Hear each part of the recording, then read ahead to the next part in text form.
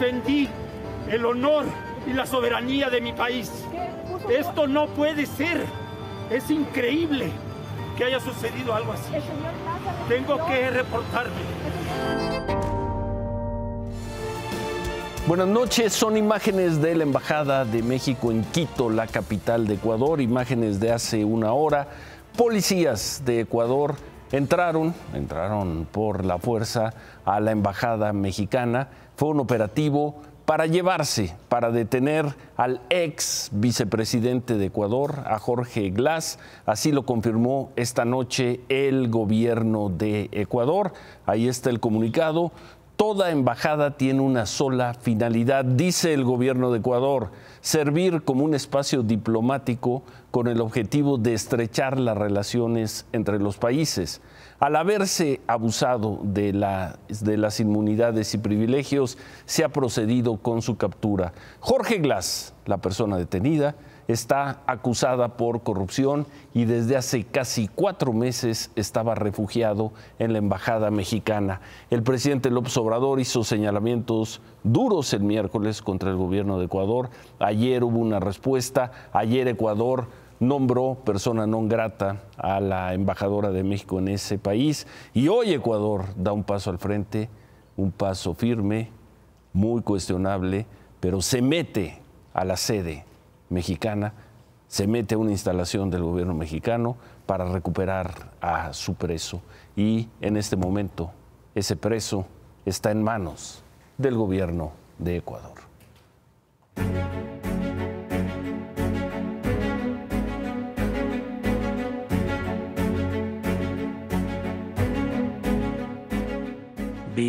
Exceso de uso de fuerza rodeando la embajada con mucha prepotencia. Pero así son los fachos, ¿eh? Militares y policías de Ecuador mantienen rodeada la Embajada de México en Quito. El operativo es para evitar la fuga del ex vicepresidente Jorge Glass, a quien el gobierno de ese país considera un delincuente. Este hombre enfrenta varias acusaciones y fue sentenciado a 14 años en prisión por delitos de corrupción, incluyendo asociación ilícita relacionada con el caso Odebrecht. Jorge Glass pasó más de cinco años en la cárcel y en noviembre de 2022 obtuvo la libertad provisional, hasta que en diciembre pidió asilo en la Embajada de México, unos días antes de que le revocaran la libertad provisional. Desde entonces, el gobierno de Ecuador ha pedido al de México que le permita entrar a la embajada para arrestarlo. Pero México no lo ha permitido y esto provocó diferencias entre ambos gobiernos. Diferencias que derivaron en una crisis diplomática el martes, cuando el presidente López Obrador habló sobre el asesinato de Fernando Villavicencio, ocurrido en agosto cuando era candidato presidencial en Ecuador. El presidente López Obrador dijo que este homicidio fue utilizado por medios de comunicación en Ecuador para generar miedo, afectar a la candidata de izquierda y que esto tuvo como consecuencia el triunfo del actual presidente Daniel Novoa. Él crear un ambiente enrarecido de violencia, al grado que van los candidatos, y esto lo difunden todos los medios, con chalecos a los debates, pero todo armado, que utilizaron nada más el momento. Esto provocó que ayer el gobierno de Ecuador declarara persona non grata a la embajadora de México, Raquel Cerur, quien tendrá que dejar la embajada y salir del país en las próximas horas. A pesar de esto, hoy México le otorgó asilo político al ex vicepresidente Jorge Glass, de inmediato, la Cancillería ecuatoriana rechazó cualquier posibilidad de permitir que ese hombre obtenga un salvoconducto para salir de Ecuador. Dicen que la concesión de asilo diplomático en este caso constituye un acto ilícito del gobierno mexicano, que apoya una evasión de la justicia y promueve la impunidad. A pesar de esta crisis diplomática, el presidente López Obrador dijo que no ve un rompimiento en la relación con Ecuador. Y tenían ellos por lo que estoy sintiendo, ganas de pelearse con nosotros. pero para que haya pleitos se necesitan dos. Para que haya pleito se necesitan dos, eso decía en la mañana el presidente López Obrador. Hace unos minutos, hace unos minutos escribió en redes sociales, me acaba de informar Alicia Bárcena, nuestra secretaria de Relaciones Exteriores, que policías de Ecuador entraron por la fuerza a nuestra embajada y se llevaron detenido al ex vicepresidente de ese país, quien se encontraba refugiado y tramitando asilo por la persecución y el acoso que enfrenta. Se trata de una violación flagrante al derecho internacional y a la soberanía de México, por lo cual le he instruido a nuestra canciller que emita un comunicado sobre este hecho autoritario, proceda de manera legal y de inmediato declare la suspensión, repito, palabras del presidente López Obrador, la suspensión de relaciones diplomáticas con el gobierno de Ecuador. Se suspenden, es la orden que le está dando, que está dando el presidente López Obrador, suspender, no romper las relaciones. ¿Por qué? Porque México le iba a dar calidad de asilado a Jorge Glass. El gobierno de Ecuador no lo aceptó, consideró que ese asilo sería un acto ilícito y por lo mismo, en un acto de fuerza, decidieron vulnerar, allanar la Embajada de México en Ecuador, donde se encontraba el señor Glass, lo sacaron y lo tienen detenido. El gobierno mexicano no reporta heridos, lesionados, eh, personas eh, tomadas por la autoridad ecuatoriana. No hubo, como lo vimos en las imágenes, una resistencia, no tendría por qué verla, una resistencia de eh, pues, personal de la Embajada mexicana. Y lo relevante son dos hechos. Uno, Ecuador vulneró la Embajada de México en Quito, en la capital de ese país, para llevarse a un ecuatoriano, al ex vicepresidente, a Jorge Glass, uno. Dos, el presidente López Obrador ordena protestar ante este hecho y por lo pronto declara suspendidas las relaciones con el gobierno de Ecuador. Ese es el estatus, esa es la situación. Estaremos al tanto y por supuesto si hay algo más aquí, lo estaremos reportando. En otras cosas, vamos a ver estas imágenes, porque desde el 2017 hubo un operativo de la Policía Estatal de Arantepacua, en Michoacán, es, dejó cuatro comuneros muertos. El operativo se dio en medio de un conflicto territorial con otra comunidad. Pasaron siete años. Desde hace siete años, cada 5 de abril, y hoy es 5 de abril, los comuneros de Arantepacua protestan en Morelia, van a Morelia para exigir justicia. Hoy la protesta llegó a estos niveles y uno vuelve a preguntar dónde está la autoridad. Se entiende la frase de no la expresión o la idea o el concepto de no reprimir la protesta social, pero esto es protesta social. Esto es protesta social y vamos a ver hasta qué hora apareció la policía de Michoacán. vive! ¡La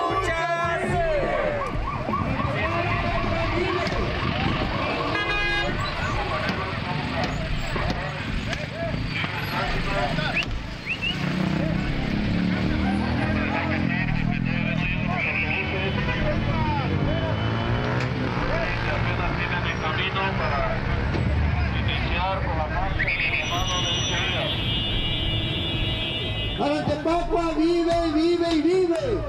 La lucha sigue y sigue y sigue. Y seguiremos luchando. Seguiremos manifestándonos. Seguiremos. ¿Está bien? ¿No lo dañaron usted? No. No,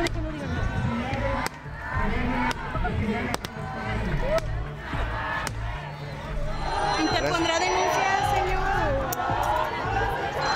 No sé ni qué siga. Es su patrimonio. Así es.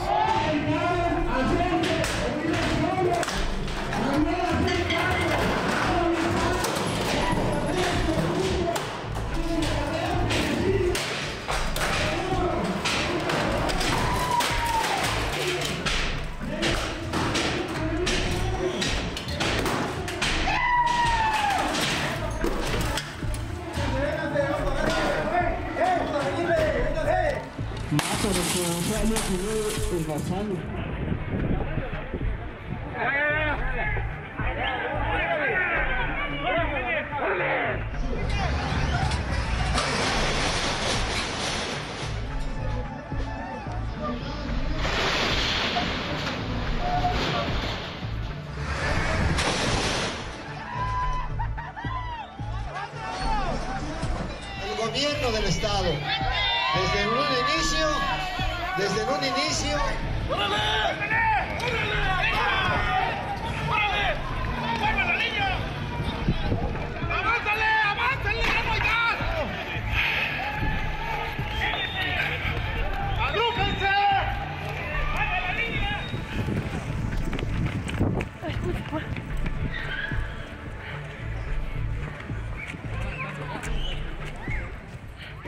Años de impunidad, siete años sin castigo a los responsables, siete años eh, en el cual no hay una sola persona detenida por la masacre cometida en Arantepacua, Michoacán.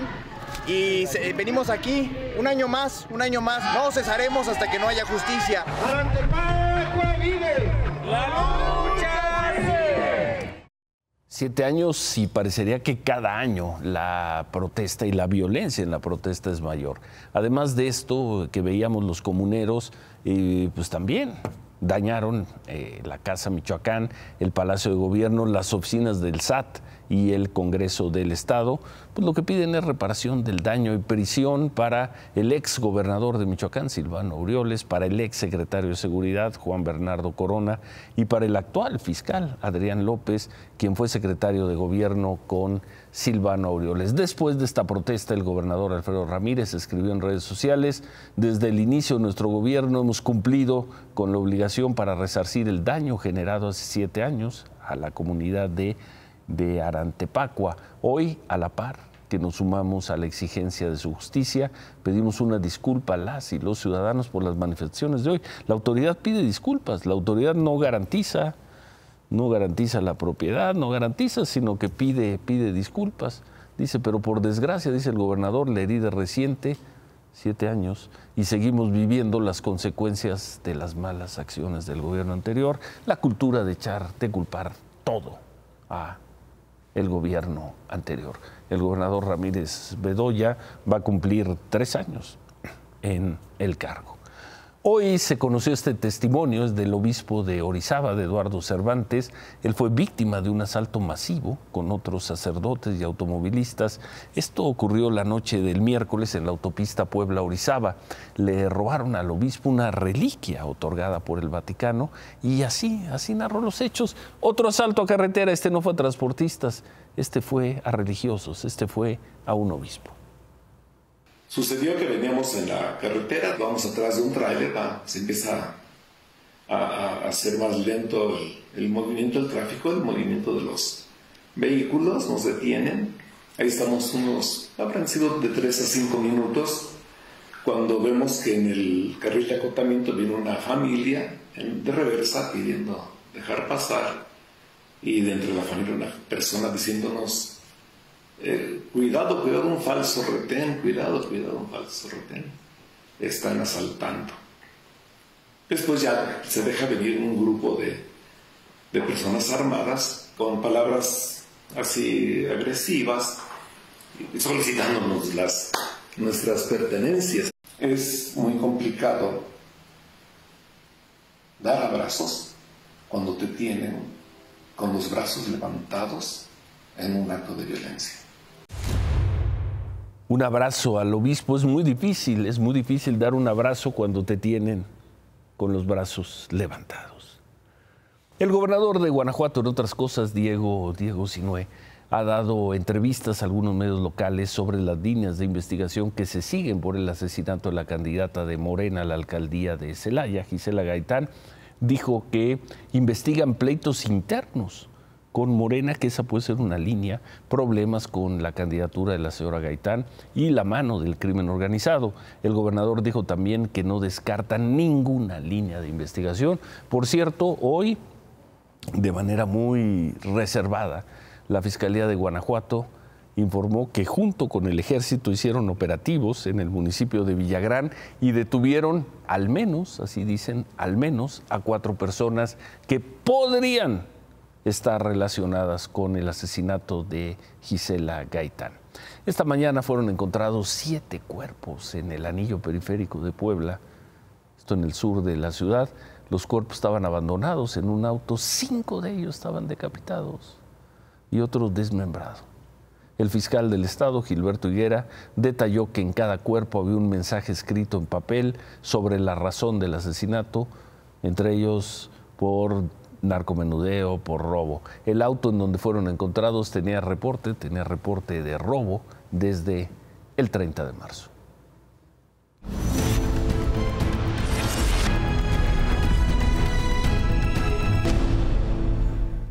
Las candidatas y el candidato presidencial suspendieron hoy sus actividades, dijeron que lo hacían para concentrarse en el debate del domingo. Por la mañana hablamos con Xochil Gálvez, se dijo lista para el debate y lanzó esta acusación al equipo, al frente, al mundo, Morena Claudia Sheinbaum. No estuvo bien lo que hizo, repruebo el contenido del video, seguramente alguien lo grabó y tuvo ese video guardado y, y pues yo no les creo en la campaña de enfrente que no tiene nada que ver. O sea, claro que en su cuarto de guerra tomaron la decisión de sacarlo en este momento y pues esa es la doble moral de salir y decir una cosa y, por atrás hacer otra. Dura, muy dura. Xochil Gálvez, quien por cierto hace par de minutos escribió en su cuenta de X sobre lo ocurrido en la Embajada Mexicana en Ecuador que puso Xochitl Gálvez. Se puede o no estar de acuerdo con la impartición de justicia en otros países, pero las sedes diplomáticas de cualquier nación extranjera son in violables. Xochitl Galvez. Claudia Sheinbaum no ha difundido nada todavía sobre los hechos de Ecuador. Ella aseguró que solo puede garantizar un gobierno honesto quien ha actuado con honestidad. En un mensaje en sus redes sociales explicó su plan contra la corrupción que dio a conocer a principio de semana. Jorge Álvarez Maínez dijo cómo se prepara para el debate entrenar en los diferentes terrenos, estar preparados para todo en un partido tan importante como el que vamos a vivir este domingo. Creo que he podido tener un mejor entrenamiento que el estar en un diálogo sin filtro con las universidades, con las jóvenes, con los jóvenes de todo el país. Jorge Álvarez Maínez, como Xochitl Gálvez, ya difundió también una comunicación sobre los hechos en Ecuador. Dice, es un atentado contra la soberanía de México que no podemos tolerar. Esa embajada representa al Estado mexicano y es inviolable, es parte de nuestro territorio. Esperamos que el Gobierno de México y la Secretaría de Relaciones Exteriores actúen con la firmeza que la eh, situación amerita y a ver si podemos, si podemos ver de nueva cuenta el X, el mensaje que difundió el presidente López Obrador hace unos momentos, porque esa es hasta el momento la posición del gobierno mexicano, desde luego repudiando los hechos, anunciando que protestarán, que se condenará esta acción y, e informando que el gobierno mexicano, ahí está, lo leo tal cual. Me acaba de informar Alicia Bárcena, nuestra canciller, que policías de Ecuador entraron por la fuerza a nuestra embajada y se llevaron detenido al ex vicepresidente de ese país, quien se encontraba refugiado. Se trata de una violación flagrante al derecho internacional y a la soberanía de México, por lo cual he instruido a nuestra canciller que emita un comunicado sobre este hecho autoritario, proceda de manera legal y de inmediato declare la suspensión, repito, declare la suspensión de relaciones diplomáticas con el gobierno de Ecuador. Es muy probable que este tema aparezca entre el domingo en el debate, aunque la agenda marca otros temas, seguramente, seguramente se va a tocar el tema México-Ecuador. El domingo a las 8 de la noche es el primer debate presidencial acabando, lo puede ver en imagen televisión, lo vamos a transmitir y al acabar, al acabar vamos a tener el mejor postdebate. Inmediatamente después del debate, la mesa más fuerte, la mejor. Epigmenio Ibarra, Germán Martínez, juntos en Imagen Televisión.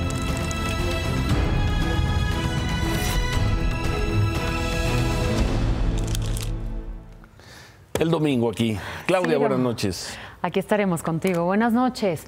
Anoche veíamos cómo el influencer Rodolfo, conocido como Fofo Márquez, golpeaba sin piedad a una mujer en plena calle en la colonia Ciudad Brisas en Naucalpan. Esto porque la señora rozó el espejo de su coche.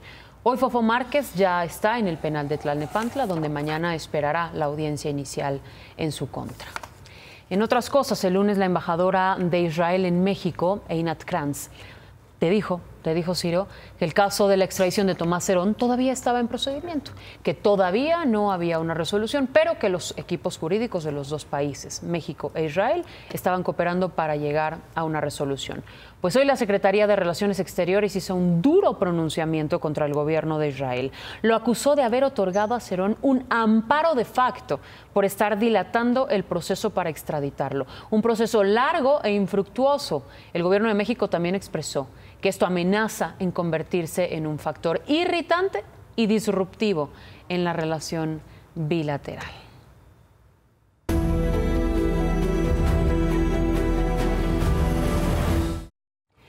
Y anoche escuchamos el reporte de Marco Silva, quien nos contó que los vecinos de la alcaldía Benito Juárez estaban reportando un olor intenso a gasolina en el suministro del agua. Regresamos a las colonias de esta alcaldía y esto encontramos. El olor no para, el olor no cede. Eh, hemos revisado edificio tras edificio, levantábamos las, tapas de las cisternas y de inmediato te llega el, tufo, el olor, eh, porque está concentrado, ¿no?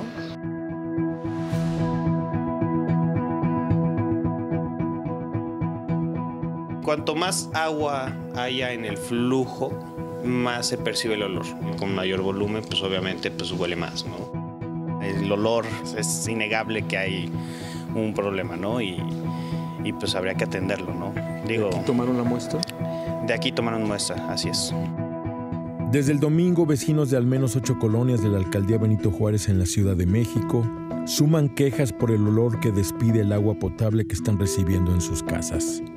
En estos cinco días la información oficial ha sido escasa y los resultados técnicos de las muchas muestras que han tomado para análisis aquí y en una docena más de edificios, tanto el sistema de aguas de la Ciudad de México como la alcaldía Benito Juárez y los propios vecinos podrían tardar en llegar siete días más.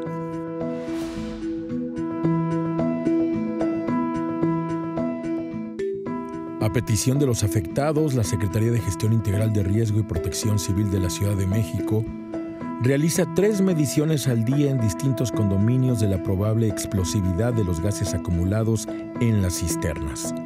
Hasta ahora los resultados han sido negativos, con lo que se descarta un problema mayor, pero el agua continúa con un olor que algunos describen como insecticida y otros hablan como de gasolina. Las quejas se acumulan, según este mapeo que realizan administradores de edificios en colonias como Nonoalco, Nochebuena y Ciudad de los Deportes, todas estas de alta densidad habitacional. Se habla de guachicoleo, se habla de este, microsismos que hayan roto alguna tubería, se habla de las obras del metro, o sea, no sabemos por dónde es.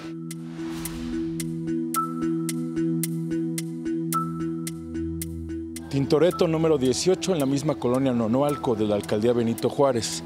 Esta es la tercera dirección que visitamos en esta zona. Aquí tienen tres cisternas muchas de las cuales no han tenido agua en todos estos días de estiaje por el problema en el Cutzamala. Bueno, a pesar de eso, cuando llega el agua, llega con este olor a combustible. Yo en casa tengo un afectado, mi hijo tiene dermatitis atópica, entonces con cualquier, o con cualquier cuestión le brota inmediatamente, tiene la piel afectada. Sí creo que ya es un problema de salud de verdad imperante y no podemos nada más dejar estar pasando, eh, que nos digan que no saben qué es. Olfato o piel son hasta hoy los únicos indicadores. Y aquí está otro mapa, el de las infecciones que vecinos aseguran les ha provocado el agua. Sea Secretaría de Gestión Integral de Riesgos, sea SACMEX, sea el jefe de gobierno, alguien que dé la cara.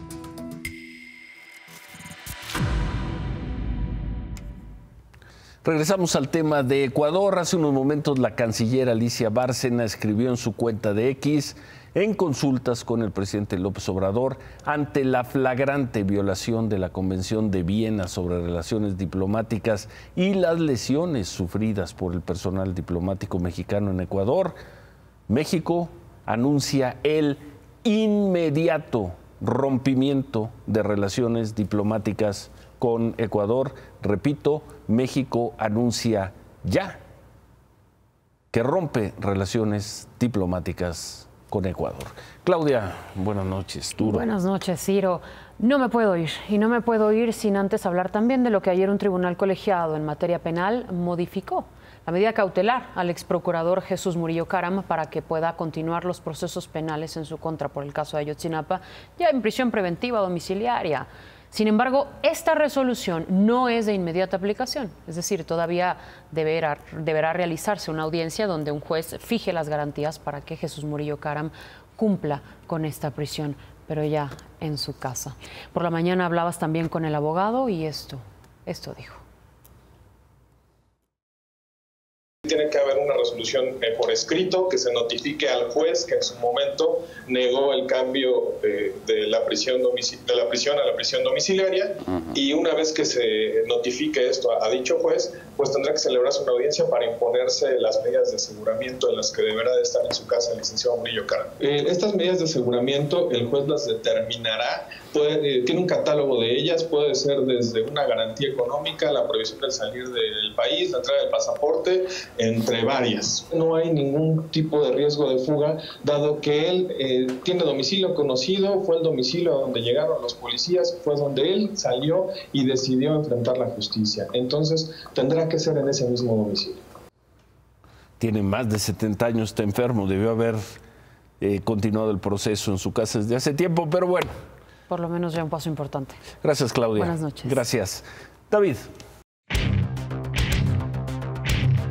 Los que le aplauden al gobierno por convicción o por interés económico dicen que el peso se está fortaleciendo gracias al triunfo no, de la economía vez, vez. moral. Ya sabemos que no es así, lo has dicho pero, 200 veces. Pero parece que mucha gente sí, no entiende. No, sí entiende. Otra vez hoy que el tipo de cambio llega a 16.45, el nivel más bajo en nueve años. Sí. Eh, similar al que había registrado que es casi 40 centavos más bajo que el que había el último día de diciembre de este año. Pero hay quienes dicen, no, no, no, es que es el triunfo de la economía, amor. No es cierto. Lo que está pasando con el tipo de cambio es, uno, las tasas de interés en México se están quedando altas con relación a otros mercados emergentes. Dos, que en los Estados Unidos está empezando a haber una convicción de que va a ganar Donald Trump las elecciones y eso favorece el movimiento del tipo de cambio. Y tres, que es un fenómeno global de la economía. Tan es así que los expertos que consulta Citibanamex cada 15 días dicen que ellos ven el nivel de tipo de cambio en 18 pesos por dólar al final de este año. Que sería muy bueno. Es muy bueno ahorita y es muy bueno en cualquier momento. Hoy por hoy, hoy el 16 tip... abajo de 16.50 en algún momento. 16, está en 16.45 en este momento. O sea, cerró la semana en 16.45. A ver, pero no es ni bueno ni malo. No es ni bueno ni malo. A unos les conviene, a otros no les conviene y no es medida de salud de la economía mexicana de ninguna sí, manera. Sí lo es, pero bueno, no vamos a discutir ah, eso un viernes en la noche. Mejor, ¿por qué no? Sí. A ver, te propongo ya nos vamos al debate. Yo ya, yo ya quiero ver el post-debate. Claro, -debate. eso es lo que va a estar interesante. hay, que, hay que irnos, hay, hay que prepararnos. Yo ya, ¿No, quieres, casa... ¿No quieres participar? No, yo los voy a ver con palomitas no, y, bebidas refrescantes. Sí vas a ver. Claro. Eso. Bueno, entonces despídete y. Buenas noches, que les vaya muy bien. Y nos vemos el domingo pero bueno, nos vemos el domingo, pero volvemos, todavía volvemos con más.